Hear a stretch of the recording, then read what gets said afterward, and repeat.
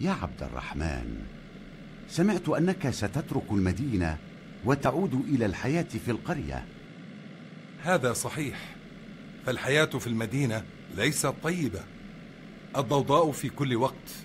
لا أنام جيدا بسبب ضوضاء السيارات والطائرات والازدحام في كل مكان والتلوث في كل المدينة. ولكن لك شركة هنا وبيت جميل. بعت الشركة والبيت. واشتريت مزرعة كبيرة في القرية. وهل سيترك أولادك المدينة أيضا؟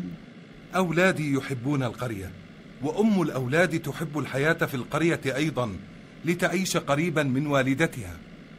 ومتى ستغادر المدينة؟ بعد أيام قليلة إن شاء الله. سفرا سعيدا وإقامة طيبة.